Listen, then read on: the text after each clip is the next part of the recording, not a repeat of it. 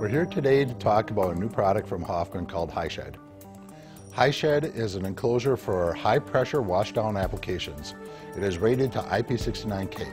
IP69K is a high pressure water test that ranges from 1200 to 1500 psi and goes up to 176 degrees Fahrenheit.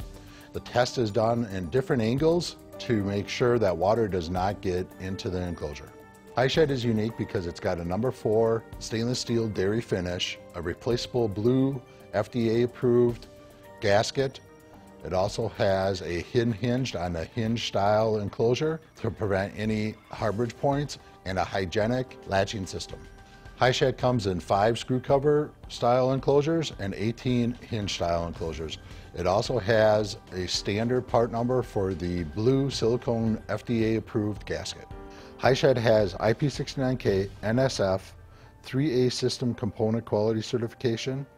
HyShed is the only enclosure to have the 3A certification. Werner Electric can modify the HyShed with holes and cutouts.